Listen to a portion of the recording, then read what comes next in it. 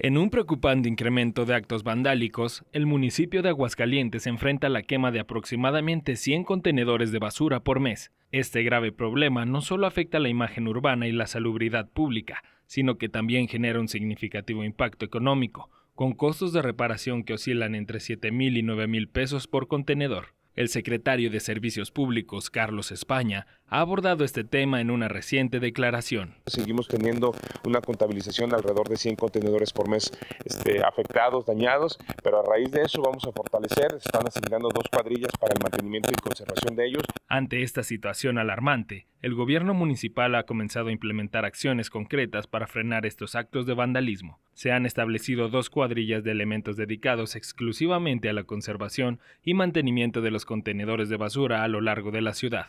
Estas cuadrillas trabajan de manera diligente para reparar y reemplazar los contenedores dañados, además de vigilar áreas críticas donde estos incidentes han sido más frecuentes.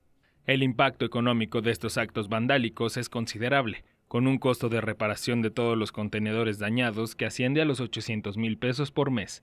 El municipio enfrenta gastos que podrían destinarse a otros servicios esenciales. Más allá del costo financiero, la quema de contenedores genera problemas ambientales y de salud pública al interrumpir el manejo adecuado de los residuos sólidos. El secretario de Servicios Públicos también mencionó que, Además de las medidas enfocadas en los contenedores de basura, se están tomando acciones para evitar el robo de cables y cajas de registro en postes de electricidad. Estos robos no solo representan pérdidas materiales, sino que también ponen en riesgo la seguridad de los ciudadanos y la operatividad de los servicios eléctricos. El gobierno municipal hace un llamado a la ciudadanía para que colabore reportando cualquier acto de vandalismo y cuidando los bienes públicos. La participación activa de la comunidad es crucial para mantener una ciudad segura y ordenada, informó para Quiero TV Christopher Alba.